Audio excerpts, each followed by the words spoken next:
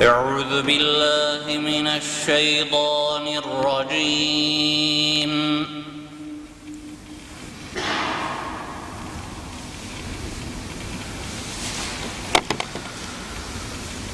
بسم الله الرحمن الرحيم.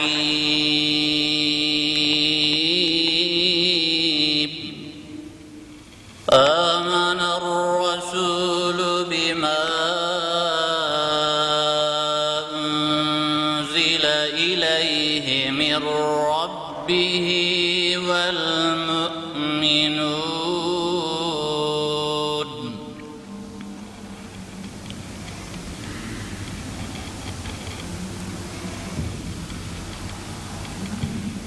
كل آمن بالله وملائكته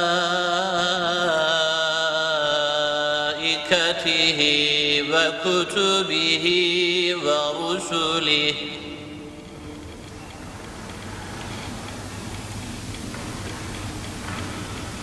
لا نفرق بين أحد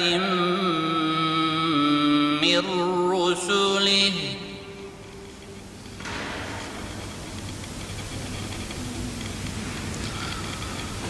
وقالوا سمعنا وأطعنا غفرانك ربنا وإليك المصير.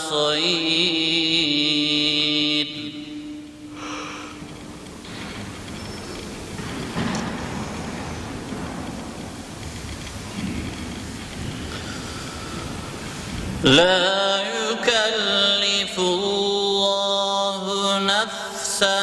إلا وسعها لها ما كسبت وعليها ما اكتسبت.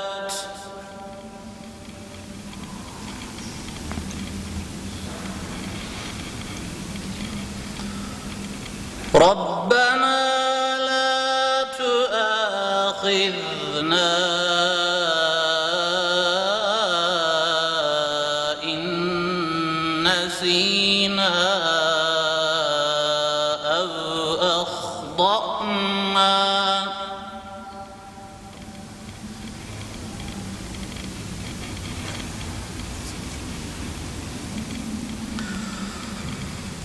رب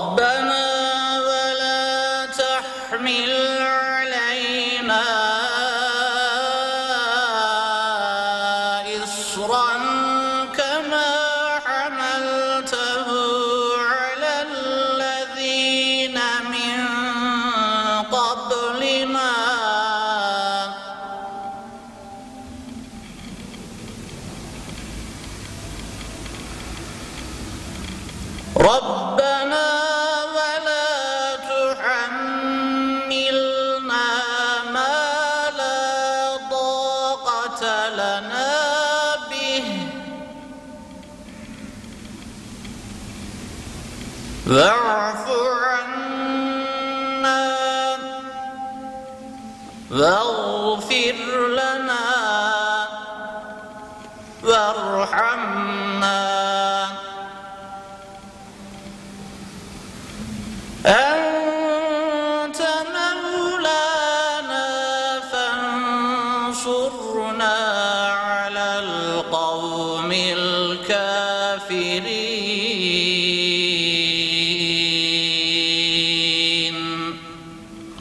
صدق الله العظيم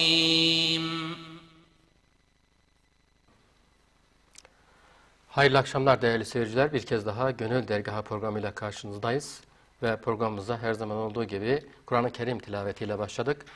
Değerli hocamız Paşa Camisi müezzin ve kayyumlarından Hafız Mahmut Arslantaş bu akşam bizlere Bakara suresinin 285. ve 286. ayetlerini okudular. Hocamıza çok teşekkür ediyoruz.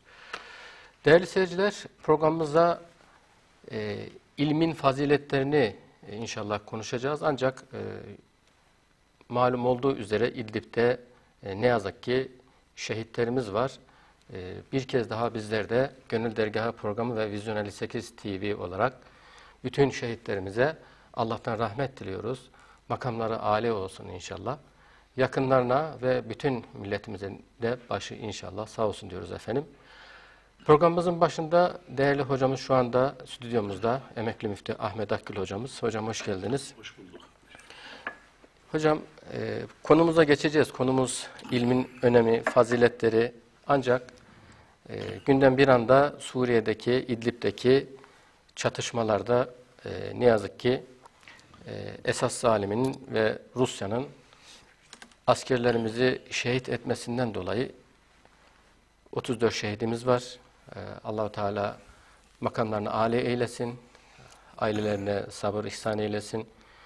Onlar bizim yüreğimizi yaktılar hocam. Biz de inşallah e, Türk milleti olarak birlik beraberlik içerisinde e, ordumuzda, devletimizle, milletimizle inşallah gereğini yapacağız. Ve bütün e, zalimlere gereken cevabı, gereken cezayı inşallah vereceğiz. Tabii ki e, üzüntülüyüz hocam. 34 şehidimiz var. 34 vatan evladını e, vatan ve millet için e, kaybettik.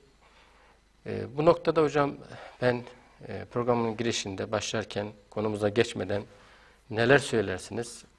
E, ülke olarak, vatan olarak şu anda e, üzüntülüyüz. Neler söylersiniz hocam?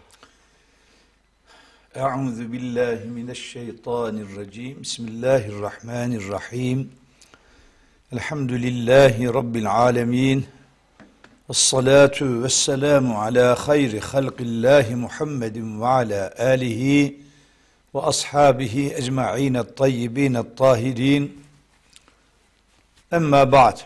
Öncelikle Yüce Rabbimize hamdü senalar, Peygamberimiz Efendimiz iki cihan serveri Hz. Muhammed sallallahu aleyhi ve sellem Efendimiz'e onun temiz zevcelerine, ashabına, ensar muhacirine ve ehli beytine salatu selamlar olsun. Allahumme salli ala Muhammedin ve ala el Muhammed. Evet, her zaman bir şehit haberi duyunca Evet.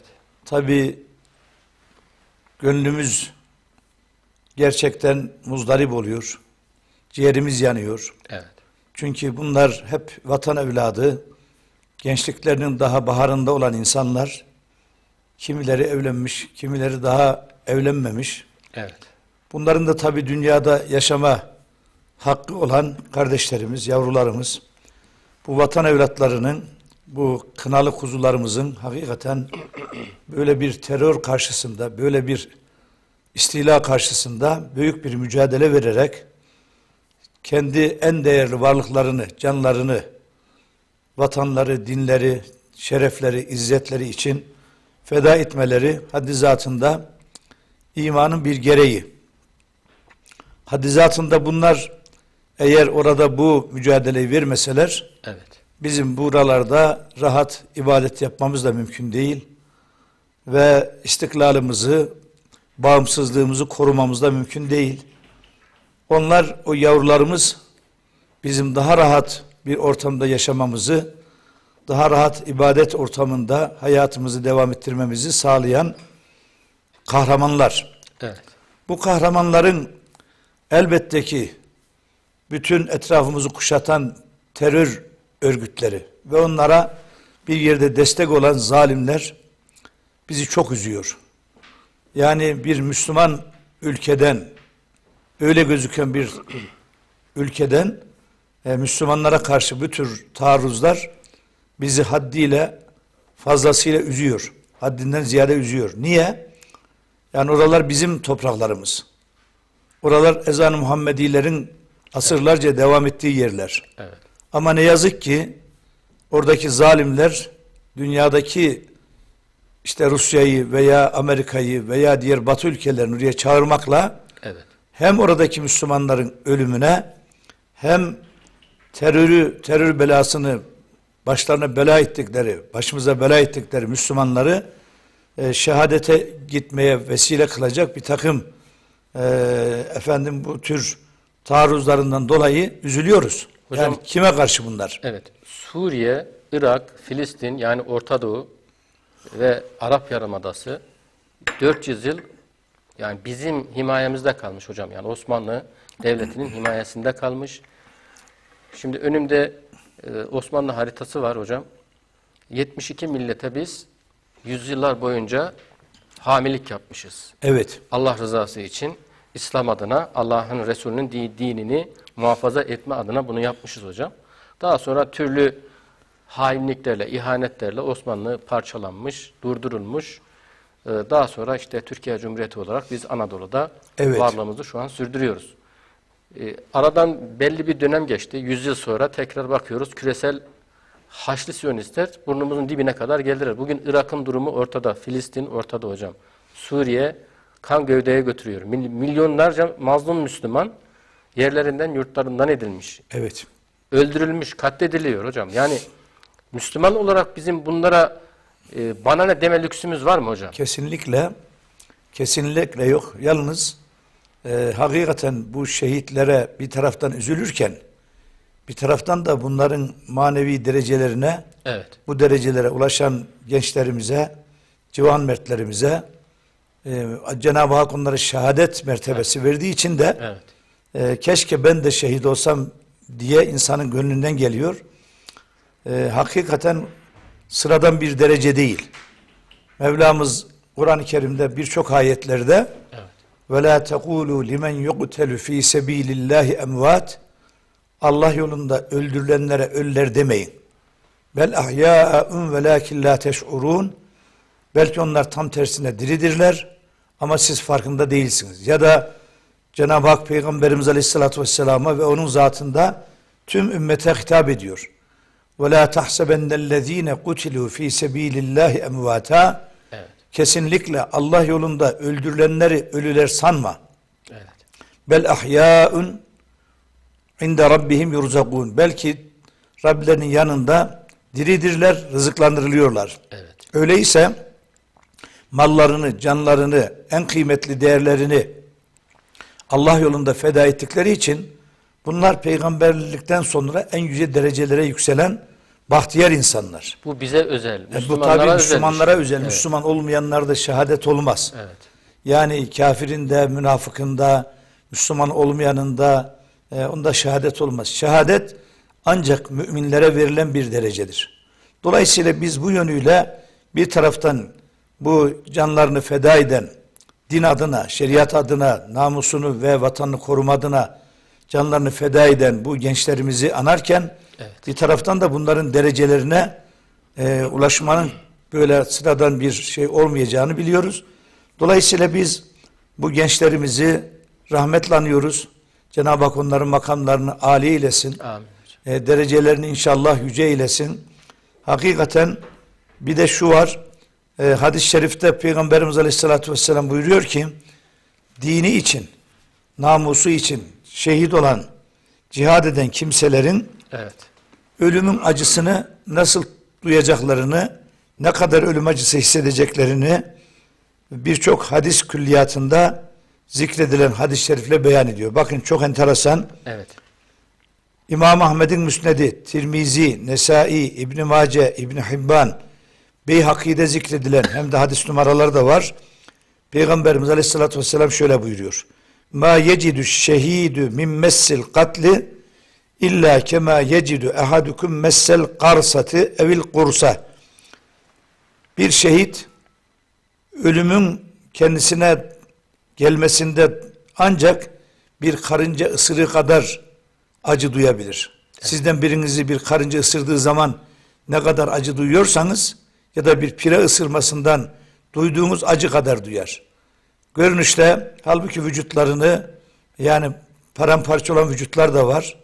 Ama bunlar ölüme gülerek giderler. Şehitler güler. Tarihte bunun örnekleri çok.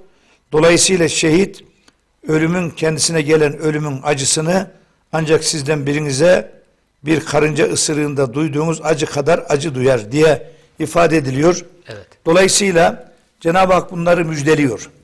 Yani Allah Celle Celaluhu buyuruyor ki İnne Allah eştera minel mu'minine enfusehum ve emvalehum bi enne lehumul cenneh.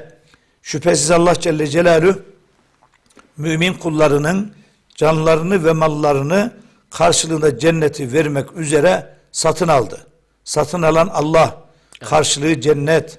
Dolayısıyla şehitler Allah ile cennet karşılığında pazarlık yapan bahtiyar insanlar, mutlu insanlar.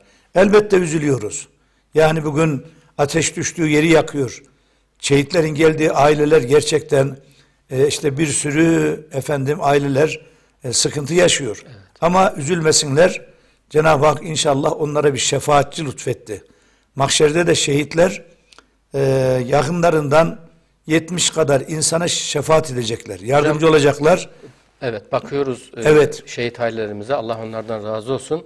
Hani öylesine vakarlar ki hocam Elbette. şehadet gibi bir e, Elbette. şeref üzerine e, bu vatanın gerçek evlatları onlar. O kadar vakarlar ki hocam yani Şehadet böyle kolay bir şey değil. Yani istismar edilecek bir şey de değil. evet. E, Cenab-ı Hak kime şehadeti takdir ettiyse ancak bu nimete onlar mazhar olurlar. Evet. Onları Cenab-ı Hak tebrik ediyor. Melekler tebrik ediyor. Onların cenazelerinde melekler hazır bulunuyor. Dolayısıyla şehitler yüksek mertebelere ulaşan kutlu insanlar, mutlu insanlar. Keşke mesela biz de şehit olabilsek. Evet. Ben hatta şunu diyorum. Bugün gerçekten yani devletimizde ve bütün İslam devletlerinde şöyle bir şey yapılsa ben kendi adıma diyorum Filistin'i kurtarma adına Evet. Mescid-i Aksa'yı özgürlüğüne kavuşturma adına ve zalimlerin bir an önce zulümlerinden vazgeçirmeleri, geçmeleri adına yani gönüllü kim bu cihada katılacak deseler ben şahsen hiç e, gözümü kırpmadan bu cihada katılmaya hazırım. Evet. Çünkü bu din meselesi, bu namus meselesi. Bu çünkü dış dünya yani bizim e, İslam'ı, dinimizi, Müslümanları, ümmeti e, yıllardan beri tuzağa düşürmek isteyen zalim güçler hep maksatları buraları e, tamamen kendi himayeler altına geçirmek Evet. ve burada bir e, Siyonist devletin rahat nefes almasına hazırlık yapmak. Onun için bunların karşısında bu şehitlerimiz en azından Siyonizmin yayılmasına engel oluyor. Evet hocam. Siyonizmin yayılmasına. Çünkü bugün İsrail devleti fırsat bekliyor. Fırsat bekliyor ama Allah'ın izni, izniyle nasıl Çanakkale'de yedi düvele karşı büyük bir mücadeleyle Çanakkale'yi geçilmez yaptıysa ecdadımız biz de Allah'ın izniyle yeryüzünde İslam hakim oluncaya kadar bu mücadelelerimize devam edeceğiz. Bu şehitler haddi zatında gelecek belaların önüne büyük bir set oluyor. Onun için rahmetle yad ediyoruz.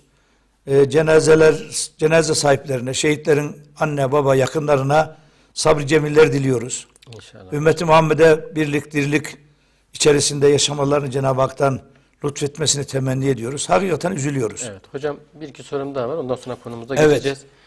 Ee, Peygamber Efendimizin bu noktada bir hadisi şerifi var hocam. Ben kısaca söyleyeyim sizden o e, Arapçasını da istirham edeceğim. İşte şehitler e, şehitlik makamına, mertebesine ulaştıkları zaman hocam allah Teala'nın huzurunda o e, güzelliğe, o güzel karşılanmaya e, karşılamayı görünce diyor e, Peygamber Efendimiz dünyaya dönüp tekrar şehit Tekrar, olmayı, tekrar. Evet, tekrar şehit olmayı arzu ederler. Peygamberimiz Aleyhisselatü Vesselam buyuruyor Evet, zaten. onu buyuruyor evet. E, Peygamberimiz üç defa tekrar ediyor. Eveddü en aktüle fe uktele. Thümme aktüle e, fe uktele. Yani ben Allah'tan Allah yoluna cihad etmeyi, öldürmeyi ve öldürülmeyi, tekrar dirilip tekrar öldürülmeyi, tekrar dirilip tekrar öldürülmeyi istiyorum. Evet. Yani peygamberler bile şehadeti istiyor. Evet. Ki şehadet büyük mertebe. Eğer bu şehadet olmasaydı İslam'ın bize ulaşması mümkün değil. Şehitlerin naaşları üzerinde İslam yüceliyor. Ezanlar onların hürmetine devam ediyor. Evet. Yani şehitler olmasaydı şimdiye kadar. E bir Çanakkale'yi düşünün.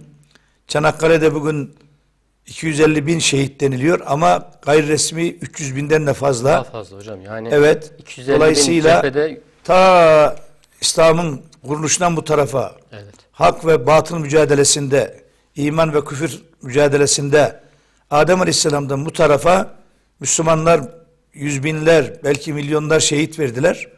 Dolayısıyla o şehitlerin naaşları üzerinde hem ülkemiz, hem Müslüman toplumlar, hem de din İslamı bin rahat bir nefes alabiliyor. Bunların hürmetine. Evet hocam. Şehitler olmasa o zaman kafirlerin çünkü kafirleri gerçekten şımartan e, cihat ruhundan ümmetin uzaklaşmasıdır. Ümmet cihat ruhundan uzaklaştığı zaman bunlar bir gün inşallah bu zalimlere buraları mezar olacak. Evet. Yani dışarıdan gelen zalimlere de dışarıdan gelen zalimler bugün Rusya'nın orada ne işi var? Amerika'nın orada ne işi var? Herkes Hatta orada- sabahtan bir şey Herkes sordu hocam. Evet, herkes sordu. sabahtan e, haberlerde söyledi. Atılan bomba parçalarından Amerika imalat olduğu söyleniyor. Yani hem e, vuruyorlar hem kendilerine göre üzülüyorlar. Bunlar yalancı insanlar. Bunlar iki yüzlü insanlar. Yani burada ölen de kar, kalan da kar. E, her şeyde bunların menfaatları var. Onun için inşallah inanıyoruz ki yani bu mübarek topraklarda e, sinsice tuzak kuranlara inşallah kendi tuzakları kendi tuzaklarına kendileri düşecek ve ümmet burada inşallah sonucu olarak zafere ulaşacak. İnşallah hocam. Ümmet zafere ulaşacak. İnşallah hocam bu noktada son e, son e, sorum şöyle. Şimdi Orta Doğu baktığımız zaman büyük bir istila ve işgalin altında. Öte taraftan bakıyoruz İslam coğrafyasının başında bulunan yöneticiler ne yazık ki yönettiği halklardan kopuk ve uzak bir şekilde küresel güçlere teslim olmuş. Onların istediklerini yapıyor. Öte tarafta işte Irak, Suriye, Afganistan, Filistin e, Müslümanlar büyük bir e, zulüm altındalar. Yerlerinden, yurtlarından ediliyorlar. Yani biz bu anlamda hocam Türk milleti olarak e, şu anda e, İslam coğrafyasının da e, liderliğini yapıyoruz bir noktada ve e, İslam coğrafyasında yaşayan Müslümanlar da bizden büyük bir beklenti içerisinde. Bu anlamda biz biz nasıl hareket etmeliyiz hocam? Yani millet olarak, devlet olarak bizim üzerimize düşen görevler. Ben işin daha geneline bakıyorum. Bir defa tabi Osmanlı'nın bakayası olan Anadolu Evet. uzun yıllar tüm İslam alemine önderlik yaptı, merkez oldu, hizmet etti. Dünyanın her tarafına sadece Müslümanlara değil diğer insanlara da hizmet götürdü. Benim aslında genel bakışım şöyle. Evet. Türkiye olsun ve diğer Müslüman toplumlar olsun bir defa yeniden kitap ve sünnet merkezli Evet. İslam'ı yeniden yaşayarak birlik beraberlik içerisinde Allah'ın yardımını celbedecek bir çalışmayla e, kardeşlik çerçevesinde kaynaşmamız lazım. Yani başka türlü bu zulümden, bu çemberden e, kurtulmamız mümkün değil. Her tarafımız istila edilmiş. Bugün sadece Kudüs değil istila altında olan, sadece Suriye değil, sadece İslam'ın Irak değil. İslam aleminin fiili Evet. veya hükmü önemli hemen her tarafında istila Evet, edilmiş. istila altında. Dolayısıyla bu Siyonist zihniyetlerin iflas etmesi için yeniden ümmetin bir diriliş içerisinde bir kıyama kalması lazım. Evet. Yani Allah'ın takdir ettiği neyse o. Mesela şimdi biz bu şehitlerimizi tabi üzüntüyle karşılıyoruz değil mi? Kimi 24 yaşında, kimi 26 yaşında, kimi 30 yaşında. Hepsi genç. Hepsi genç. Şimdi bu gençlerimizin e, ömürleri bu kadar. İlahi takdir bu kadar. Evet. Yani onların şayet bu olay olmasaydı acaba yaşayacaklar mıydı? E bizim inancımıza göre, ehl sünnet inancına göre onların ömürleri o gün, o an bitmiş. Ama sebep değişebilirdi. Fakat önemli olan şu, bugün ümmetin bu girdaptan nasıl kurtulacağına bakmak lazım. Bu açıdan Büyük bir başıboşluk. var. evet, şimdi bu açıdan bu ümmet nasıl kurtulacağının çaresine bakacak. Mesela e, şeyde bir ayet-i kerime var. Taha suresinin sondan ikinci sayfasında.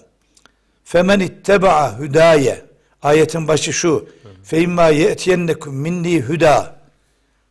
Muhakkak size tarafımdan bir hidayet, bir rehber, yol haritası, kılavuzu gelirse femen itteba'a hüdaye. Kim de benim rehberime, hayat e, kılavuzuna uyarsa, peygamberime, şeriatıma, İslam'a uyarsa fela yadillu ve la yeşka. Yolunu şaşırmaz, azgınlaşmaz da. Ümmetin tekrar kendine gelmesi lazım. Evet. Yani böyle e, reçeteyi tam uygulamak lazım. Bu reçete de Kur'an ve sünnetten alınan reçete olması lazım. Yoksa e, pansuman tedavileriyle bu işler olmaz. Yani biz yeniden geçmişte nasıl yüceldik, geçmişte nasıl cihan devleti olduk, geçmişte nasıl medeniyetin, adaletin, merhametin öncüsü olduk. Bu değerlerimizi ne zaman kaybettik, ne zaman parçalandık, neden parçalandık?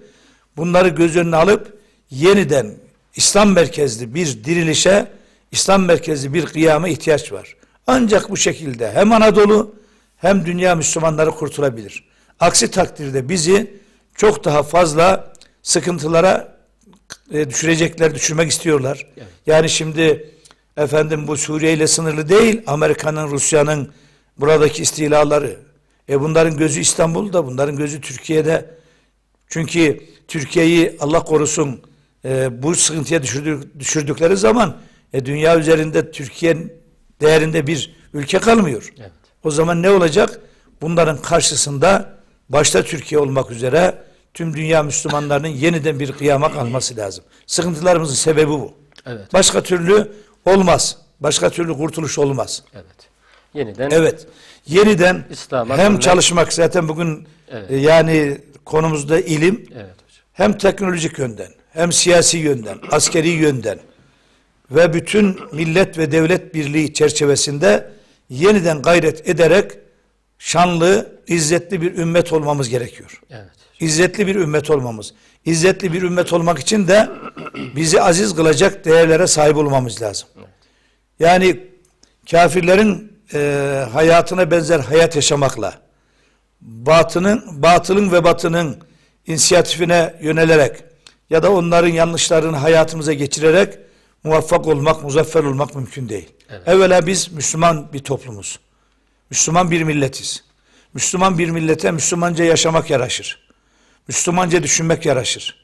Müslümanca birlik beraberlik içerisinde olmak ger- gerekir. Şu anda bizim hem Anadolu olarak hem dünya, dünya Müslümanları olarak birliğe beraberliğe ihtiyacımız var. Evet. Çok büyük bir Gerçek birliğe beraberliğe ihtiyacımız var. Birlik beraberliğimiz olsa hocam Evet. İslam şuuru olsaydı bugün ne Rusya'sı ne Amerika'sı ne Batılıları Kesinlikle. bugün Suriye'ye Irak'a gelemezlerdi hocam. Kesinlikle. Ve, bu vahşeti de bu zalimlikleri de yapamazlardı hocam. Evet. İnşallah e, Dua edeceğiz ama önce- çalışacağız. Evet. Yani Müslüman her gerekir. şeyden önce e, kendi silahını kendi üretecek. Kendi stratejisini kendi koruyacak. Planlarını kendi yapacak. Başkalarının planlarına göre değil. Ümmet olarak buna ihtiyaç var. Dolayısıyla inşallah ümmet bu karşılaştığı musibetler sonucunda e, hep inşallah zafere doğru gidiyor ve gidecek de. İnşallah. Yani zulmün bir sonu var. Evet. Zulmün bir bitişi var. Zalimler payidar olmaz. Dolayısıyla biz inanıyoruz ki gelecek İslam'ın, gelecek Müslümanların. İnşallah hocam. Evet. Hocam böylece e, bir kez daha e, şehitlerimize Allahu Teala'dan rahmet, Rahmet diliyoruz. Makamları Evet. Yakınlarına sabri cemil diliyoruz inşallah. Milletimizin de inşallah başı sağ olsun. Evet. E, konumuza inşallah dönelim hocam. Konumuz e, ilimle ilgiliydi. İlimin faziletlerini e, Evet. konuşuyorduk hocam. E, ben şöyle bir soru sorayım hocam. İlmin e, veyahut da bilmin diyelim İslam'la olan ilişkisi noktasında e, ve ilmin e, çeşitleriyle alakalı. Evet. Şimdi inşallah Orada bunun- kalmıştık yanılmıyorsam. ilim zaten iki kısım olarak Evet. devam edelim e, inşallah. değerlendirilmişti. Birinci kısmını biz inançla ilgili evet. inançla ilgili esaslar Allah'a iman, peygamberlere iman, kitaplara, meleklere, öldükten sonra dirilmeye vesaire onları geçenki dersimizde kısmen anlattık. Şimdi ilmin bilimle ne kadar barışık olduğuna şöyle bakacağız. İslam dini hep ilerlemeyi, hep ileri adımları atmayı tavsiye ediyor. Bir defa Efendimizin şu sözü ne kadar anlamlı. Men istevahu yevmani fehve magbun. Kimin iki günü birbirine eşit olursa o aldanmıştır. Evet. Hem dünya açısından hem ahiret açısından. Müslüman hep ileriye dönük çalışmalar yapacak. Müslüman her zaman kendisi başkalarına yol gösteren. Çünkü İslam'ın şu esası var. Hayrun nas men yenfaun nas. İnsanların en hayırlısı başkalarına faydalı olandır. Faydalı olmak için hem ilimde, teknolojide, sanatta ve merhamette, adalette önce olacak ki Müslüman. Başkasına faydalı olsun. Dolayısıyla İslam dini her zaman ilimle, bilimle barışıktır. Evet. Ve ilmi zaten farz kılmış İslam. Hocam bugün günümüzde baktığımızda ilim veyahut da bilim adına biz batı kültürünü almışız Evet. kendimize. Dolayısıyla büyük bir e, bozulma olmuş bizde hocam. İşte bunun ahlakını yitirmişiz. Evet. Mesela Peygamberimiz Aleyhisselatü Vesselam Müslümanın yani buna hadis değil diyenler de var ama en azından zayıf hadis bu. Yani İyamelli dünya ke keenneke taişu ebede ve amelli ahiretik keenneke temutu gada hiç ölmeyecekmiş gibi dünyan için ve yarın ölecekmiş gibi biraz sonra ölecekmiş gibi de ahiretin için çalış. Şimdi bir defa dünyada meskenet yok. Mesela Cenab-ı Hak Kur'an'da ne buyuruyor? Ve bitagi fîmâ âtâkallâhu dâral âhireh ve lâ tense nasîbeke mined dünya. Allah'ın sana verdiğiyle dünya yurdunu garanti altına almak için çalış, gayret et. Yani Allah'ın rızasını iste. Ama dünyadan nasibini de unutma. Müslüman miskin miskin herkes çalışsın. Bana dinim yeter, imanım yeter, inancım yeter demeyecek. Müslüman ötekilerden daha iyi çalışacak.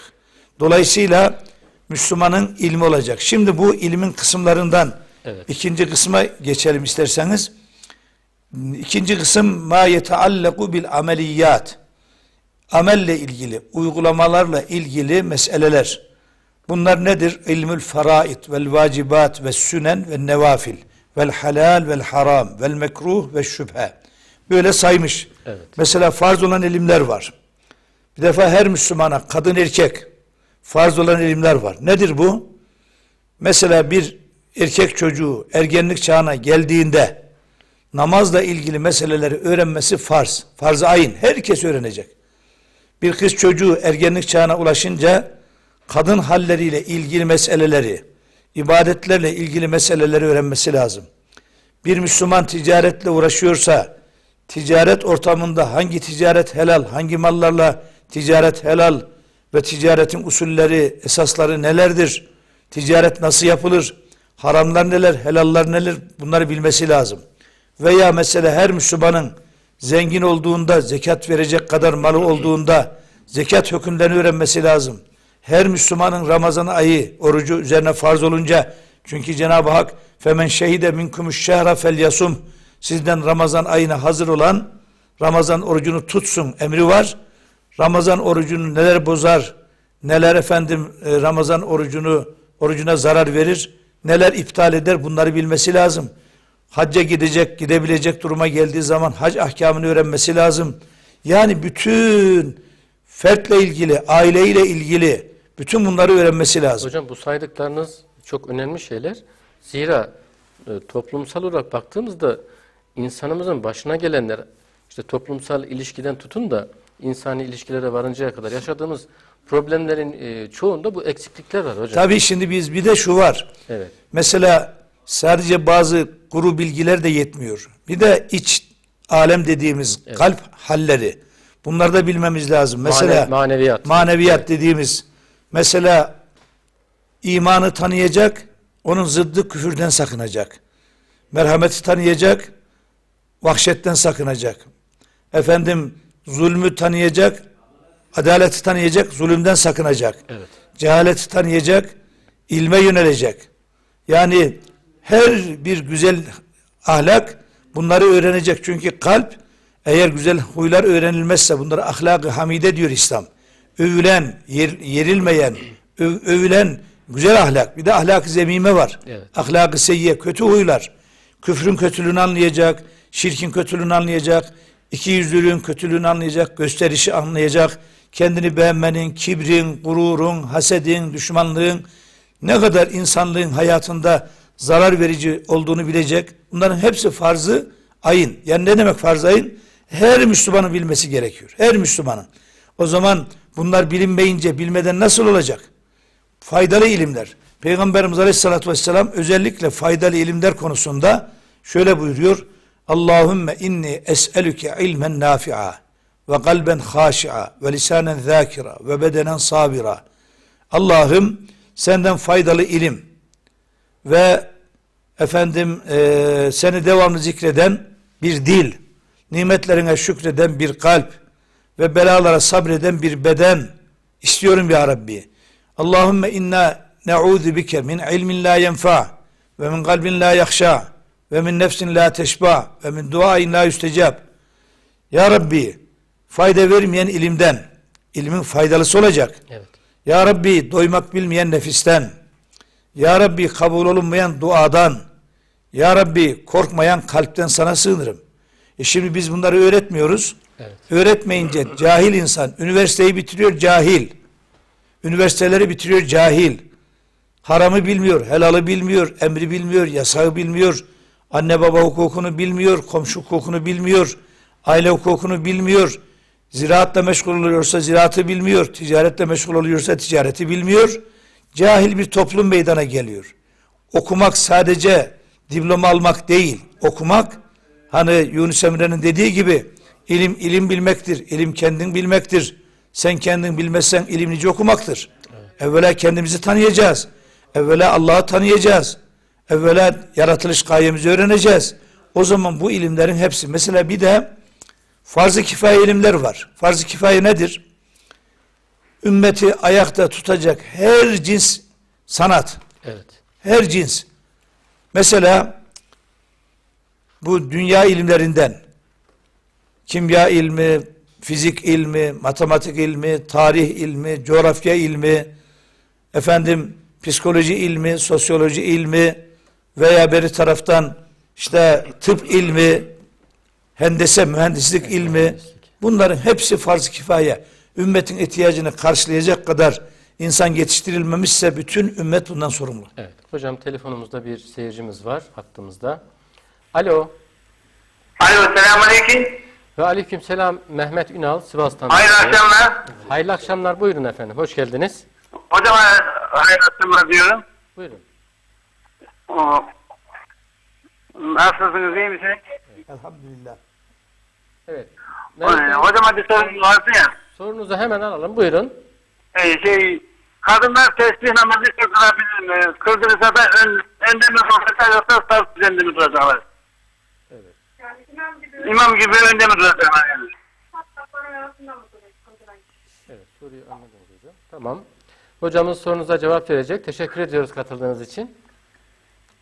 Anlayamadım. Teşekkür ediyoruz. Hocamız cevap verecek sorunuza. Oldu. Hayırlı Benden akşam. selamlar hocam. Hayırlı akşamlar diliyoruz. Sağ olun. Evet. Şimdi kadınlar kadınlara Hanefi mezhebine göre imamlık yapamaz. Nerede? Farz namazlarda. Evet. Ama diğer cumhur diyoruz onlara. İmam Şafii, İmam Ahmet bin Hanbel, İmam Malik Hazretlerine göre kadın kadınlara imamlık yapar. Hanefi mezhebine göre kadın kadınlara imamlık yapamaz farz namazlarda. Yapılış şekli nasıl hocam? Yapılış şekli yaparsa şayet Hanefi mezhebinde tahrime mekruh olur. Kadın ileri geçmeyecek. Evet. Ön safın arasında duracak. Ön safın arasında. Peki tesbih namazında kadın kadınlara imamlık yapabilir mi? Yapabilir. Tesbih namazı sünnet bir namaz. Belki herkes tek başına bunu yapamıyor. Bu da yine bilgisizlikten ha. Yoksa bunlar çok zor şeyler değil. İşte gerçek şeyler öğrenilmediği için bakıyorsunuz cemaatin büyük çoğunluğu tesbih namazının nasıl kılınacağını bilmiyor. Aslında tesbih namazı herkes kendi kendine kılacak. Peygamberimiz buyuruyor ki gücün yeterse her gün. Gücün yetmezse haftada bir. Ona gücün yetmezse ayda bir.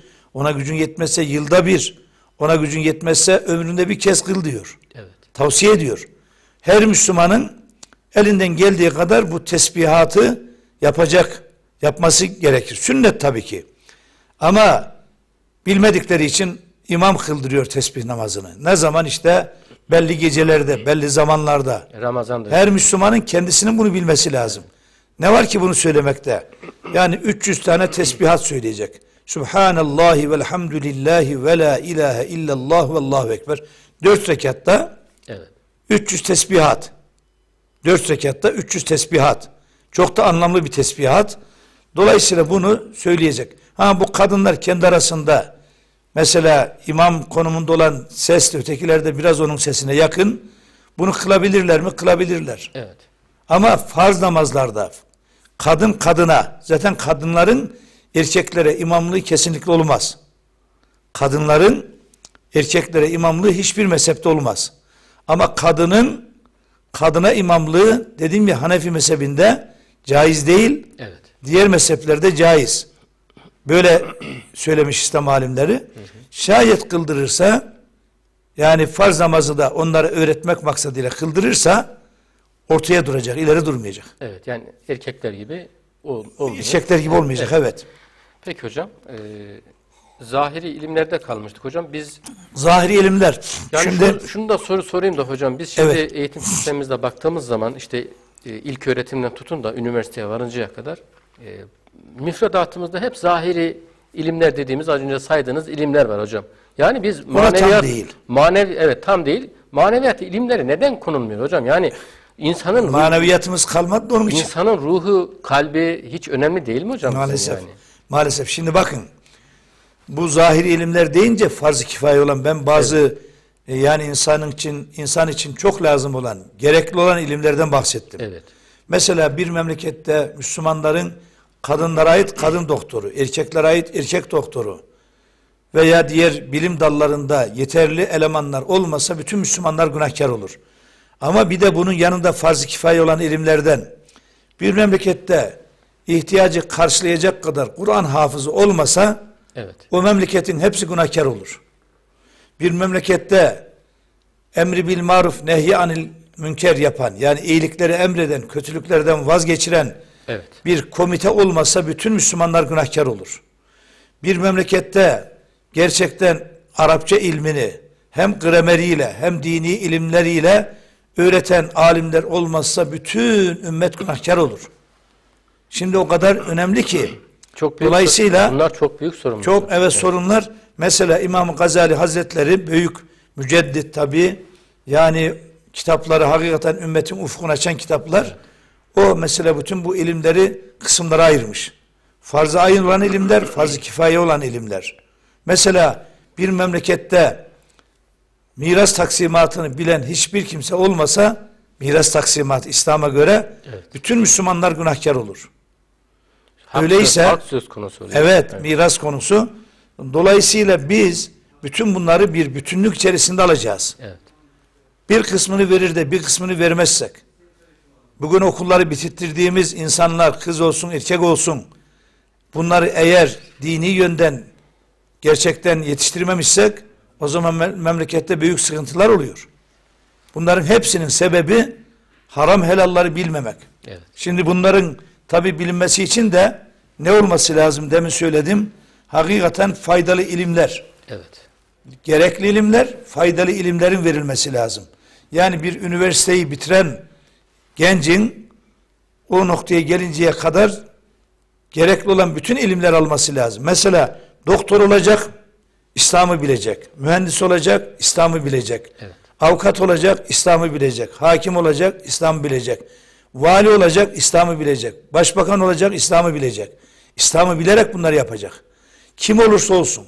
Evet hocam e, bir seyircimiz daha var hattımızda ona hemen bir bakalım. Devam edeceğiz. Zeki Işık Fransa'dan bizi arıyor. Hayırlı, hayırlı akşamlar Zeki Bey. Alo. Abi, Selamünaleyküm, hayırlı akşamlar. Aleykümselam efendim. Buyurun. E, şu anda canlı yayındasınız. Abi ses gelmiyor. Evet arkadaşlar. Şu an sesimizi alabiliyor musunuz? Efendim, Sorunuzu alalım biz. Evet. Sorun. ya, sorum, sorum şu. Evet. Peygamber Efendimiz teravih namazı kıldı mı? Evet. Bir. İkinci, camiye gitmeden evde tek başımıza 10 rekat teravih namazı kılabilir miyiz? Evet. Üç, seferlik evden çıkınca mı başlar yoksa belirli bir kilometre var mıdır? Hocama da saygılar sunuyorum. İki, belki bir iki ay önce burada Strasbourg'da Evet. camide görüşmüştük. Evet. Hocama da saygılar sunuyorum. Teşekkür ediyoruz. Hayırlı akşamlarınız olsun. Hayırlı akşamlar Fransa'ya. Oradaki kardeşlerimize de e, selam ve sevgilerimizi iletiyoruz. Evet. Fransa'dan bir Evet. kardeşimiz. Hocam. Ee, yıl sonunda biliyorsunuz bir 10 gün kadar Fransa'ya çağırmışlardı. Gittim. Strasbourg'da da tam 31 Aralık'ta orada bir sohbetimiz vardı. Evet. Hem cemaate hem gençlere. Evet kardeşimizle orada görüştük. Yani ismini tam hatırlayamadım ama Evet. görüştük. Bütün kardeşlerimize selamlar. Şimdi tabii üç tane sorusu var. Birincisi Peygamberimiz teravih kıldı mı? Evet. Teravih namazı Ramazan'a has bir namaz. Teravih namazı denildiği gibi buna kıyamül leyl de deniyor. Yani Ramazan'ın gecelerini ihya etme, değerlendirme namazı. Peygamberimiz Aleyhisselatü Vesselam hadis-i şerifinde buyuruyor ki Men gâme ramadâne imanen ve ihtisaben gufira lehu ma teqaddeme min zenbih her kim inanarak sevabını yalnız Allah'tan bekleyerek Ramazan gecelerini değerlendirirse geçmiş küçük günahları bağışlanır. Buradaki kâme ahya manasına. Evet. Ramazan gecelerini ibadetlerle değerlendiren. Peki Peygamberimiz teravih namazı kıldı mı? Peygamberimiz teravih namazı kıldı ve kıldırdı. Üç gece Evet. Peygamberimiz yatsı namazından sonra sekiz rekat cemaata namaz kıldırdı. Neden, teravih namazı. neden üç gece hocam? Sebebi var mı? Söyleyeceğim. Üç gece kıldırdı. Dördüncü akşam etrafta Müslümanlar duydular. Evet. Peygamber aleyhissalatü vesselam kıyamül leyl namazı yani teravih namazı kıldırıyor diye cami doldu taştı.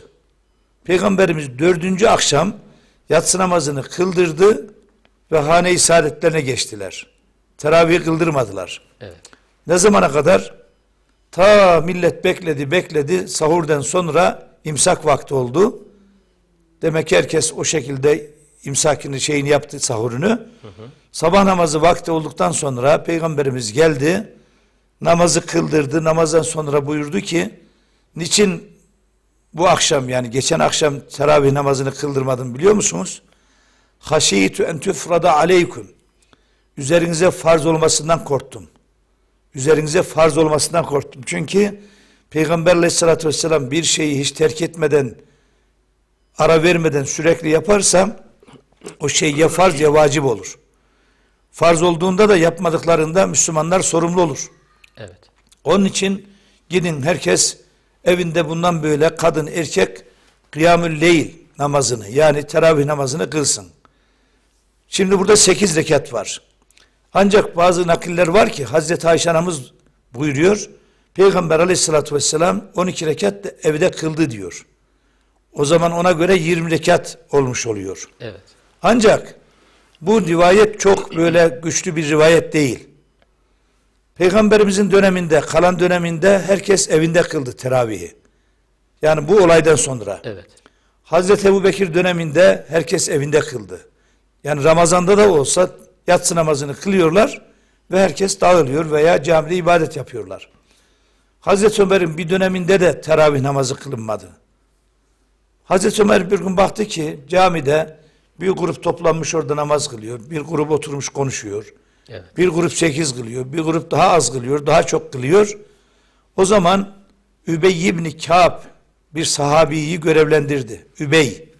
Übey ibn Kâb bundan böyle Müslümanlara 20 rekat teravih kıldıracaksın. Kendisi de kılıyor. İslam halifesi. Tabi Emirül Müminin, Müslümanların halifesi ve kendisi de kılıyor. Hazreti Ömer bu emri verdiği zaman kendi kafasından vermiyor. Evet. Bunun bir dayanağı var.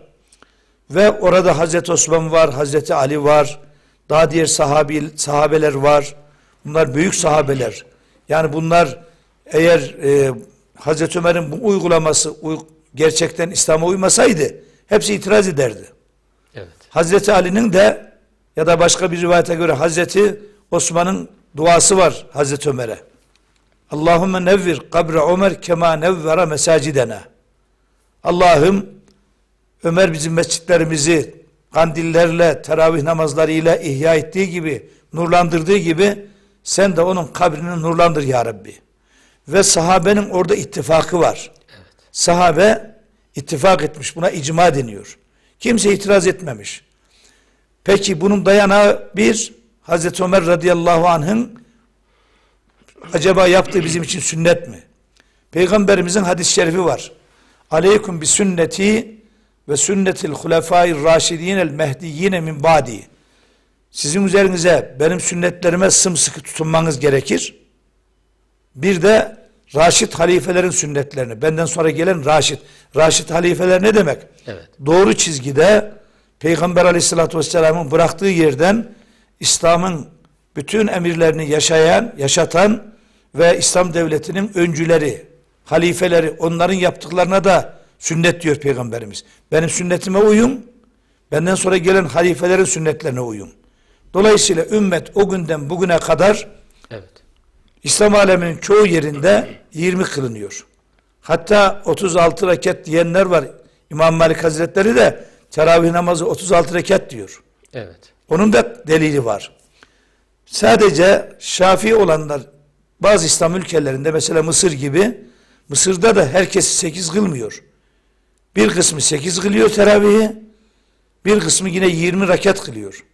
Ama Hazreti Ömer döneminden bugüne kadar Mekke'de, Medine'de, Haremeyn'de yani Kabe'nin olduğu mescit, Peygamberimizin ravzasının olduğu mescit, Mescid-i Nebevi o günden bugüne kadar teravih namazları asırlardan beri Ramazan'da kaç rekat kılınıyor? 20 rekat. Peki hocam şöyle düşünenler de ola- olabiliyor.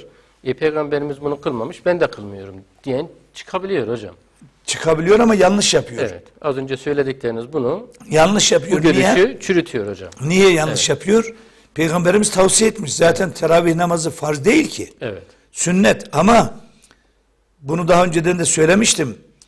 Ramazandaki nafile ibadetlere, sünnet ibadetlere Evet. Ramazan hürmetine Cenab-ı Hak farz ibadetler sevabı veriyor. Farz ibadetlere de 70 farz ibadet sevabı veriyor. Hadis-i şerif var. Men tekarrabe fihi bi haslatin minel hayr kâne kemen edda faridatan fîmâ sivâ. Kim Ramazan ayında nafile cinsinden, sünnet cinsinden bir ibadetle Allah'ın rızası için ibadet yaparsa Evet. diğer aylardaki farzlardan bir farzı yerine getirmiş gibidir. Ve men edda fihi faridatan kâne kemen edda seb'ine faridatan fî mâ sivâ. Kim Ramazan ayında bir farzı farz olarak yerine getirirse diğer zamanlardaki 70 farzı yerine getirmiş gibidir. Bu Ramazan'a mahsus bir şey. Onun için Peygamberimiz bunu tavsiye etmiş. Sonra hüküm olarak sünnet olsa bile, sünnet-i müekkede olsa bile farz sevabı vaat edilmiş. Ayrıca Peygamberimizin sadece yaptıkları sünnet değil, Hulefai Raşidi'nin yaptıkları da artı sünnettir. Onlar da bizi sünnet olarak bağlar. Bir başka konu, bu kardeşimiz soruyor ki ben evde 10 rekat teravih kılabilir miyim? Camiye gitmeden. Şimdi evet. camiye gitmeden teravih kılınır da camideki kılınan cemaatle kılınan teravihin sevabı olmaz. E peki evde cemaat olsa evde cemaat olabilir. Yine cemaat sevabı alır ama camiye gitme sevabından mahrum olur. Çünkü camiye gitme gelme onun artı sevapları var. Niye on rekat kılıyor kardeşimize soruyorum ben şimdi. Peygamberimiz madem e, yani 8 kılmış ondan sonra Hazreti Ömer 20 kıldırtmış. Biz de 20'yi kabul ediyoruz. Niye 20 kılmıyorsun da 10 kılıyorsun? 20 kıl. Evet. Şayet evinde cemaat oluyorsan ola ki eşin, çocukların, torunların beşinde cemaat olur.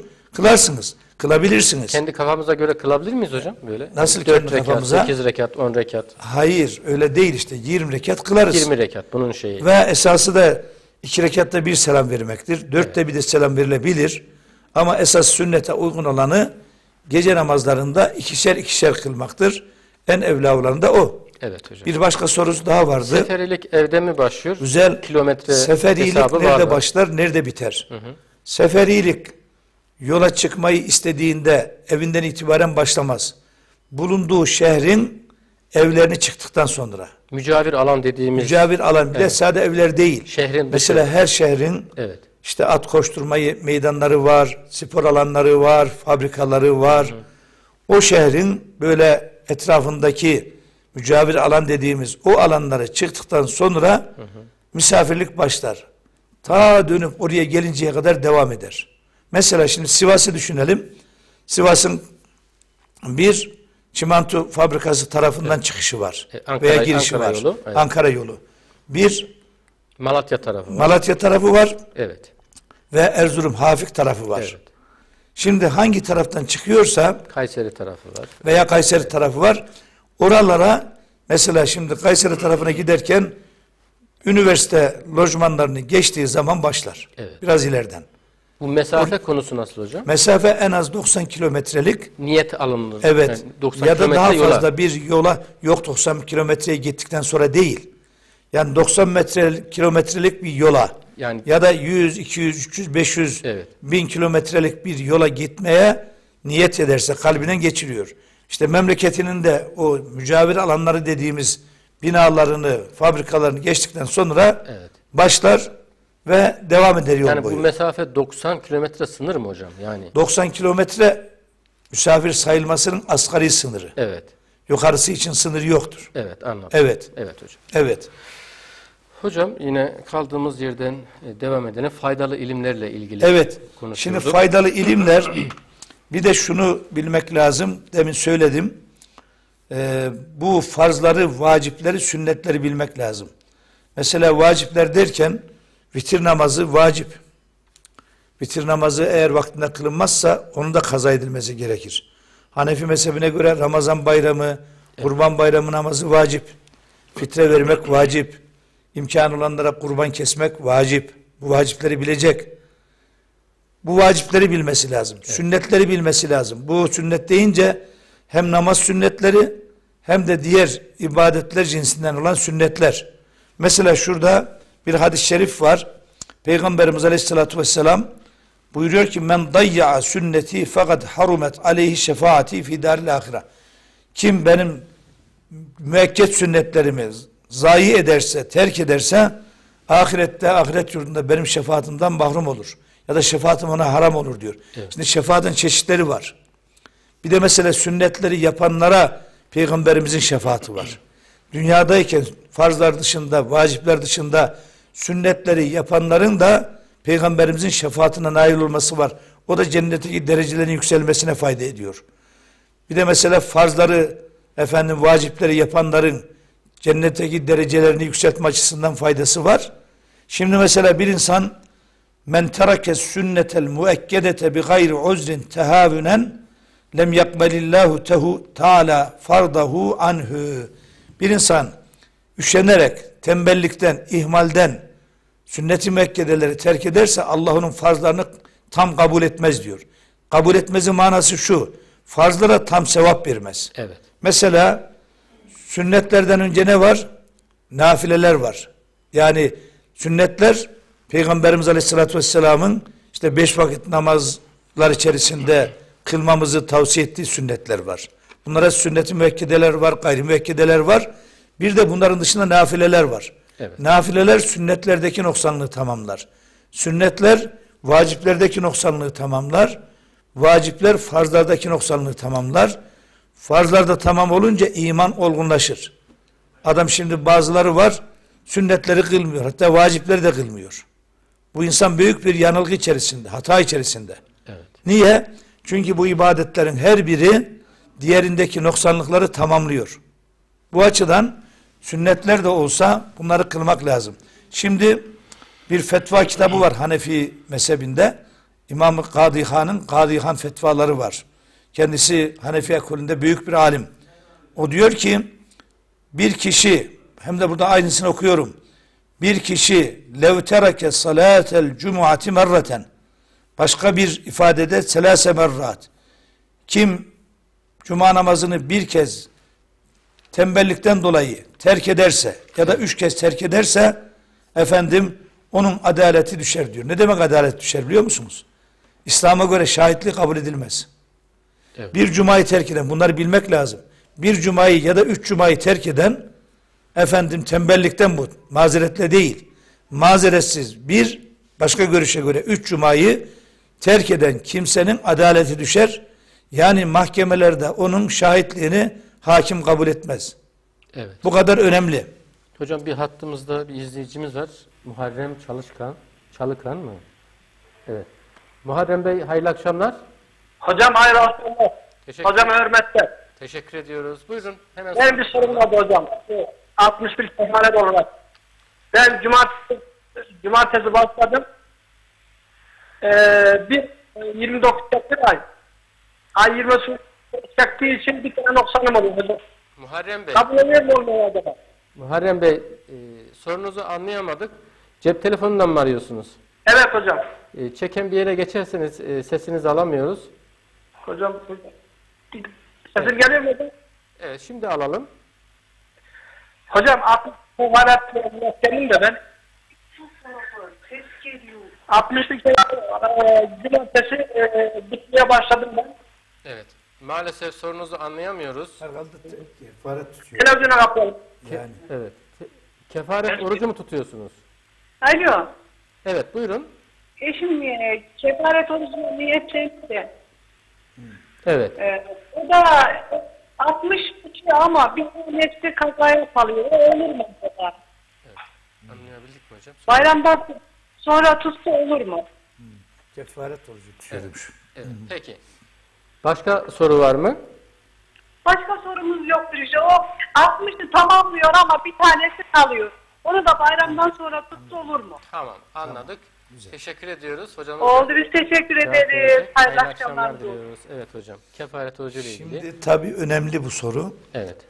Kefaret orucu tabii kardeşlerimizden bir gerçekten kefaret tutmasını gerektiren geçmişte bir e, oruç yemiş kasıtlı Ramazan orucunu. E, öyle kefaret tutanlar var. Bir de ihtiyati tutanlar var. Yani ömründe bir kefaret tutayım diyor. Evet. ihtiyaten. Şimdi kefareti tutarken e, iki türlü e, kefaret tutma şekli var. Bir, ay hesabına göre. Ay hesabı olursa bu miladi aylardan 30, 30 ne yapar? 60 gün yapar. Evet.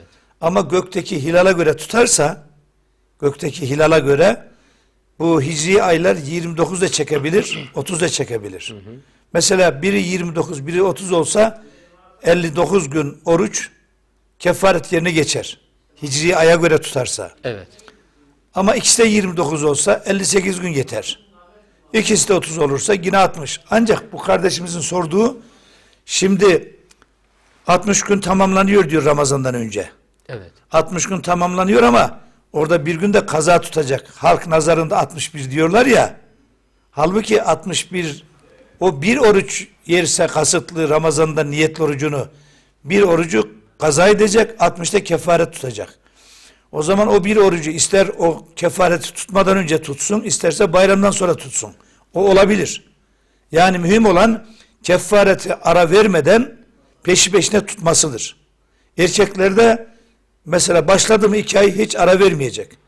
Mesela Bunu- ara nasıl olur? Evet, bunu e, yılın yani Ramazan hariç herhangi bir aya Tutabilir. Başka istediği- zaman da tutabilir. Evet, tutabilir. Ama kefarette Ramazan araya girmeyecek. Evet. Bayram günleri girmeyecek araya. Mesela erkeklerde baştan başlayınca 60 günü tamamlayacak. Araya hastalık girse orucu yese ya da bir yola geçse orucu yese kefaret sayılmaz. Yeni baştan başlayacak. Kadınlarda ise kadınlar 3 aylardan daha önce başlaması lazım. Özel durumlar olan kadınlar, haiz gören kadınlar Evet.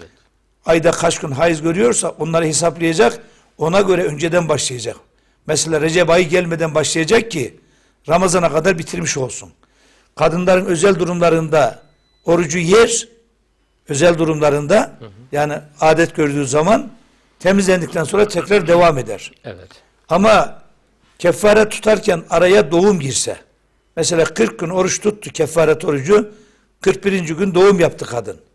O zaman yeni baştan başlaması gerekir sonradan. Evet. Nohusalık, nohusalık çıktıktan sonra. Yeniden tutması gerekir. Yani kefaret orucunda bir defa geceden niyet şart, onu söyleyeyim, geceden. Yani imsak vaktinden önce Evet. niyet etmesi lazım. İki, araya böyle orucu yediği bir günün geçmemesi lazım, özürsüz. Evet. Arkadaşlar bir telefon daha alabiliriz. Yönetmenimiz e, Ali Bey'den rica edelim. E, gecenin son bir telefonunu alalım inşallah. Ondan sonra programımıza devam edeceğiz. Hocam e, konumuza devam edeceğiz ama ben bir soru sorayım. Evet. İnşallah ona göre yine e, konumuza devam edelim. Şimdi övünmek ve başkalarına üstünlük sağlamak için hocam e, ilim tahsil etmek e, dinimize göre ne kadar doğru? Başkalarını alt etmek için. İlim e, o haramdır. İlim ancak Allah için öğrenilecek. Evet. İlim başkasına karşı üstünlük taslamak için, gösteriş için, riya için değil, ilim ancak her ibadet öyle yapılacak. Bu bir, bir noktada faydadan çok da ümmete, millete Aynen. Yani zarar zaten verir hocam. zaten peygamberimiz öyle buyuruyor. Evet. Yani e, başkalarıyla tartışmak, başkalarına üstün gelmek, başkalarını susturmak, başkalarını kendine yöneltmek için ilim talep eden yani büyük günah işlemiş olur. Evet. Ne için olacak?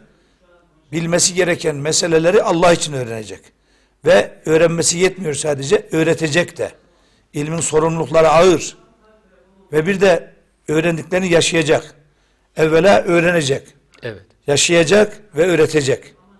Peygamberimiz Aleyhisselatü Vesselam e, buyuruyor ki men amile bima alime allemehullahu ma lem ya'lem ya da verresehullahu ma lem ya'lem. Kim bildiği ile amel ederse yani bildiklerini yaşarsa Allah ona bilmediklerini öğretir. Bilgisine bilgi katar. Evet hocam. Evet. Evet hocam bu, bu akşamın son telefonu İbrahim Özbay Kahramanmaraş'tan bizi arıyor. Hayırlı akşamlar İbrahim Bey. Hayırlı akşamlar hocam. Buyurun e, sorunuzu alalım hemen. Benim sorum şimdi camiye gidiyoruz. Evet. Camiye gidiyoruz. Ezan okunuyor. Orada otururken diğer arkadaşlar burada sohbet ediyor. Ezan okunduğu halde. Evet. Bu acaba ne kadar doğrudur yani? Dünya malından bahsediyorlar. Halbuki ezanı Muhammed'e dinlemeleri lazım değil mi? Evet. Evet. Başka sorunuz var mı? Bu başka sorun budur. Peki. Evet, teşekkür, teşekkür ediyoruz. ederim. Allah Hayırlı razı olsun. Hayırlı geceler, hayırlı akşamlar diliyoruz. Evet, camide cemaat ezan okunur. Evet, konuş- şimdi bu tabi bizim bugün e, hakikaten çok karşılaştığımız konulardan bir tanesi. Evet, hani ben e, her pazar şeyde e, sohbet ediyorum Ulu Cami'de. evet. Uzun e, efendim zamandan beri zaman zaman uyarıyoruz. Ya konuşmayın lütfen. Adam dışarıda konuşuyor yetmiyor. İçeri geliyor, geliyor grup oluşturuyor. Şimdi ilimden Konuşuyor. bahsediyoruz da hocam. e, bir de cami adabı var değil mi? E, tabi camiada içerisinde. işte bunların hepsi Evet, ilimle- bilinmesi evet. bilinmesi gerekiyor. Bilin- bilinmesi E, gerekiyor. ben değil sadece diğer vaiz arkadaşlar, Evet. konuşan arkadaşlar onlar da uyarıyorlar. Mesela niye konuşulsun? Şimdi hoca orada konuşurken Allah'ın kelamını konuşuyor, Resulullah'ın sünnetini konuşuyor. Camiye gittikten sonra bir Ve defa dünya kelamını sonra, bırakmak Ve lazım. endel hocam. mesacide lillah felâ ted'û ma'allâhi ahada. Evet. Mescitler Allah içindir. Orada Allah ile beraber başkalarına kulluk yapmayın. Başkalarını çağırmayın. Evet. Otursa orada sükut etse, dinlese, oturda orsa, otursa tesbih çekse, otursa Kur'an okusa, otursa zikirle meşgul olsa bunların hepsi sevap, cami adabı. Evet. Ama oturup da orada konuştuğu zaman hatta öyle ki hutbe okunurken bile konuşanlar var. Hutbe okunurken telefonunu açıyor, telefonda mesaj yazıyor. Veyahut da efendim telefonuna bakıyor, telefonla meşgul oluyor. Bunlar adaba aykırı. Şimdi ezan okunurken Peygamberimiz Aleyhisselatü Vesselam buyuruyor ki cami içinde olun, cami dışında olun. İzâ semi'tumul müezzine yüezzinu fekûlû mâ yekûlul müezzin. Müezzinin ezan okuduğunu işittiğiniz zaman onun söylediklerini aynen söyleyin. Ezana icabet iki türlü. Evet. İcabet ne demek? Ezan davetine uymak. Bir sözlü uyma var, bir fiili, uygulamalı uyma var. Sözlü uyma nedir? Müezzin dört defa Allahu Ekber, Allahu Ekber, dört tekbir baştan. Onu işiten de bunları tekrar edecek. Allahu Ekber, Allahu Ekber, dört tane. İçinden değil mi hocam? Yani? Tabi kendi duyacağı kadar. Müezzin eşhedü en la ilahe illallah dediği zaman o da onu tekrar edecek. Evet. Kendi içinden. içinden derken kendi duyacağı kadar. Eşhedü enne Muhammeden Resulullah dediği zaman iki kez onu da tekrar edecek.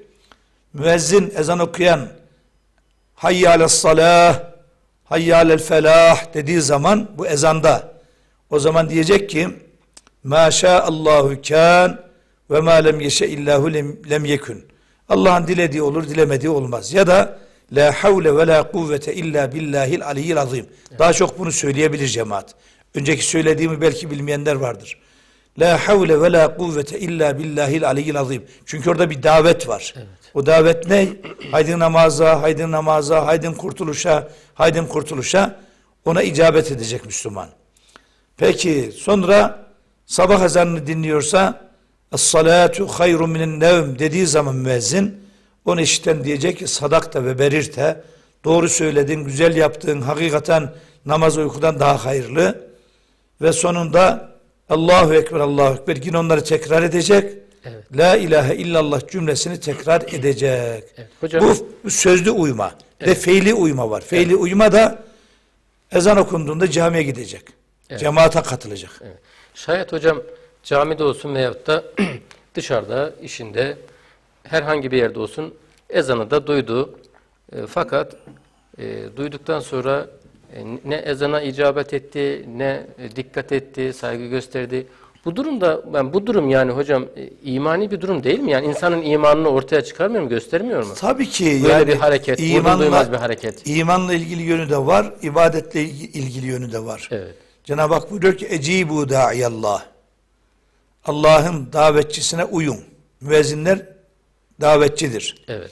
Veya ezan okunduğunda bazıları da mesela türkü, şarkı neyse müzik sesini bile kısmıyor. Ee, İzâ nâdeytüm ile salati tehazûhâ ve izâ nâdeytüm ile salati tehazûhâ hüzven ve la'ibâ. Zâlike bennehum kavmun lâ yâkilûn. Siz ezan için nida yaptığınız zaman, çağrı yaptığınız zaman onu alay konusu yapanlar bile var. Haşa ezandan rahatsız olan var. Evet. Ezandan rahatsız olan var. İşte bunlar anlamayan bir toplum olduğu için bunu yaparlar diyor. Evet hocam. Ezanla alay etmek adamı dinden çıkarır. Evet. Veyahut da la gayet kalmak dinden çıkarmaz da la gayet. Orada ezan okunuyor. Adam ezan okunurken ne ezanda kulağı var ne namazda gözü var. Evet. O zaman da ibadeti terk ediyor. Orada büyük bir haram işlemiş oluyor. Ha bazen mazeret olur. Adam ezanı dinler ama o anda cemaate katılması belki mümkün değil. E gider işte başka bir yerde namazını kılar, iş yerinde kılar. Yani mutlaka ezandan sonra namazın kılınması her Müslümana farzı bu namazı kılmak. Dolayısıyla ezanı böyle alay konusu yaptığı zaman Allah korusun dinden çıkar. E, Tabi duydu da yerine getirmediyse e, ezanı duyup da ezanın gereği neydi? Namaz kılmak. Namaz kılmayan insan haram işlemiş olur. İslam'ın e, tabiriyle fasık olur. Açıktan günah işlemiş olur. Ve büyük bir e, manevi suç işlemiş olur. Evet. Hocam son 10 dakikamız var. Ben bir soruyla konumuza e, inşallah devam edelim. Biraz e, toparlama açısından da soracağım. Şimdi e, bilip de yapmamanın cezası büyüktür diyerek dini meseleleri öğrenmek, öğrenmemek hocam. Yani yani dinimize göre bir şey bildikten sonra onun sorumluluğu oluyor e, insan üzerinde, Müslümanlar üzerinde. E, böyle bir düşüncesi olan varsa hocam, yani ben bunu öğrenirim, benim üzerime herhangi bir sorumluluk olmasın diye bu ilimden e, kendini beri tutmak veyahut da öğrenmemek noktasında e, nasıl bir durum E, söz farzı konusu? terk etmiş oluyor. Evet. Yani işte bu Sadece ibadetler değil hocam, günlük toplumsal Tabii işte- işte hepsi. Yani Ameli far- olarak da olabilir. Farzı e, terk ediyor. Öğrenmesi lazım gelenler farz cinsen, cinsinden ise farzları terk edince haram işlemiş olur. Evet. Vacip cinsinden ise onları terk ettiği zaman kerat tahrimi olur. Sünnetleri terk etmişse sünnetle ilgili bilgileri Evet. o zaman kerahat işlemiş olur. Yani bir Müslüman e, hakikaten yapacağı şeylerin durumuna göre, sınıfına göre farz olanları öğrenmek farzdır. Vacip olanları öğrenmek vaciptir. Sünnet olanları öğrenmek sünnettir. Yani bunlar derecelerine göre e bunlar hiç öğrenmiyorsa o zaman e, yani ne yapmış oluyor? Cehalete razı olmuş oluyor. Cehalete razı olunca Allah korusun işte bir farzı ya da bir vacibi terk ettiği için öğrenmemesi de ayrı bir vebal oluyor.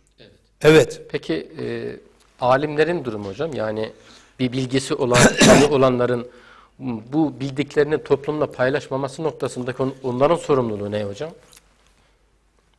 Men keteme bima alime. Kim e, bildiğini gizlerse kim biz- bildiğini gizlerse elcemehullahu bilicamin minen nar.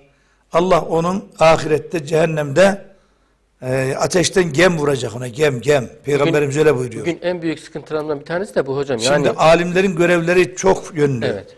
Bir, bilecek. evet. İki, yaşayacak. Rol model olacak topluma. Üç, öğretecek.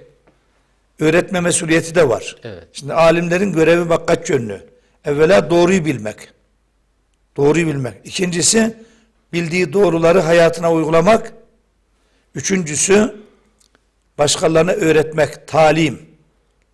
Şimdi bakın bir ayet-i kerimede Cenab-ı Hak ne buyuruyor? Ya eyyühellezine amenu lime tekulune ma la tef'alun. Evet. Yapmadıklarınızı niye başkalarına söylüyorsunuz? Kendi yapmadığınız şeyleri niye başkalarına yapın diye söylüyorsunuz? Kebura maqten indallahi en tekulu ma la tef'alun. Saf suresinde bu okuduğum ayetler yani yapmadığınız şeyleri başkalarına söylemeniz Allah'ın gadabını, azabını celbetme açısından büyük bir cinayettir, suçtur. Başka bir ayette Cenab-ı Hak ne buyuruyor? اَتَأْمُرُونَ النَّاسَ بِالْبِرِّ وَتَنْسَوْنَ enfusekum. Evet. Siz insanlara iyiliği emreder de kendiniz kendinizi unutur musunuz? Ve entüm tetlûnel kitap. Halbuki siz kitap okuyorsunuz. Kitap okuyan, sünneti okuyan, İslam'ı okuyan bir insan başkalarına iyiliği tavsiye eder de kendi unutursa, kendisinde uygulama olmazsa bu büyük bir vebaldır. Efela takilun Cenab-ı Hak öyle buyuruyor. Aklınızı kullanmaz mısınız? Hatta hadis-i şeriflerde böyle e, söyleyip de yaşamayan, söylediklerini yaşamayan alimlerin böyle eskiden değirmenlere e, merkepleri koşarlarmış, eşekleri.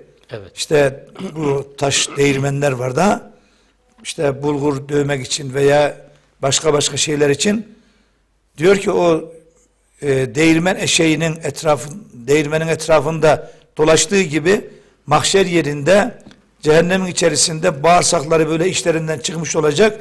Adeta böyle e, değirmen eşeklerinin e, cehennem içerisinde efendim değirmen eşeğinin döndüğü gibi dönecek.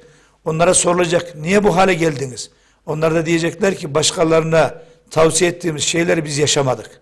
Büyük vebalı var. Evet. Büyük vebalı var. Onun için iyiliği emreden, kötülükten vazgeçiren evvela kendisi gücü yettiği kadar iyilikler emredecek, kötülüklerden vazgeçecek. Veyahut da efendim e, kendisi bilecek, yaşayacak, başkasına öğretecek. Evet hocam az önceki ayette aklınızı kullanmaz mısınız ifadesi. Şimdi e, bazı kardeşlerimiz bunu o kadar e, ileri taşıyorlar ki hocam. İşte e, Peygamber Efendimizin hadis-i şeriflerinden tutun da sahabeler, sahabe, sahabelerden işte halifeler, sahabeler, onlardan sonra gelen müştehit imamlar, e, hadis-i şerifler hatta ayetler konusunda da bu e, akılcılıkla hocam kendilerine göre yorum yapabiliyorlar. Evet. Bu noktadaki sıkıntı insanı nereye götürür hocam? Hepsi, hepsi aynı şey. Evet. Yani bilip de yaşamadığı zaman yani Cenab-ı Hak bilip de yaşamayanları e, neye benzetiyor? Efendim gerçekten e, şeydeki Cuma suresindeki ayete bakın. E, Meselüllezine hummilü't tevrat Meselüllezine hummilü't tevrate thümme lem yahmiluha Evet. Te- Tabi orada Tevrat ehline diyor ama bütün Kur'an ehline de aynı hitap. Tevrat ehlini efendim Tevrat'ı üzerlerine alıp da onu yaşamayanların hali kemeselil himar yahmilu esfara kitap balyalarını taşıyan eşekler gibidir diyor Allah. Evet. Yani ne kadar kötü bir e, örnek. Mesela ne diyor bakın kitap balyalarını taşıyan eşeğin durumu neyse kitabı bilip de yaşamayanların hükmü de durumu da aynıdır diyor. Veyahut da Allah'ın indirdiği kitabı efendim yaşamayan insanlar aynen işte sırtında kitap balyaları taşıyan efendim neye benziyor? Ee, eşeklere benziyor. Allah benzetiyor bunu. Dolayısıyla bizim ne yapmamız lazım? Bizim gerçekten evvela bildiklerimizde yaşamamız lazım. Bildiklerimizi yaşamamız gerekiyor. Hocam bu akşamın da son sorusu olsun. Evet. Evet bilmemiz gerekiyor da bir de e, toplum olarak bunu talep ediyor muyuz hocam? İlmi talep ediyor muyuz? Böyle bir durumumuz var mı? Yani arz talep meselesi deniyor hocam. E, böyle bir şey Şimdi var mı? bakın. Siz de zaman zaman e, işte vaazlar veriyorsunuz, toplantılara zaman zaman katılıyorsunuz, konferanslara. E, genel durum ne hocam? Yani talep var mı bu noktada? Şimdi bir defa talep olanlar var, olmayanlar var. Evet. Yani bir insan gerçekten e, evvela farz olanları öğrenecek, yaşayacak diyoruz ya. Evet. Bunun genele yayılması lazım. Herkesin aynı derecede alim olması mümkün değil. Evet. Ama efendim her Müslümanın bilmesi lazım gelen derece derece ilimleri var. O ilimlerden herkesin e, bilmesi gerekiyor. Mesela bir evlenen gencin kız olsun erkek olsun evlilik hukukunu bilmesi lazım. Ne yapması lazım? Evlilik hukukunu bilmesi lazım. Mesela bir babanın çocuklarını eğitme hukukunu bilmesi lazım. Evet. Bir kadının kocasına itaati bilmesi lazım. İşte bunlar yine geliyor, dayanıyor eğitime. Bunların eğitimde verilmesi lazım. Eğitimde verilecek. Evet. Yani ta sıfırdan başlayacak. Devlet politikası olarak. Evet, yukarıya kadar, zirve noktaya kadar efendim ne yapacak? Evet. İlmi öğrenmiş olacak. Ve fenni ilimleri, müsbet ilimleri öğrenirken dini ölümler, ilimlerden habersiz olmayacak. Yani bugün bir doktor Evet. ya da bugün bir efendim diğer dallarda meslek sahibi olan insanlar en azından Kur'an'ı anlayacak. Resulullah'ı anlayacak. Haramı helalı bilecek. Namazını kılacak. Ve gerçekten İslam'ı yaşayacak. Mühendis İslam'dan haberi yok misal. Avukat İslam'dan haberi yok.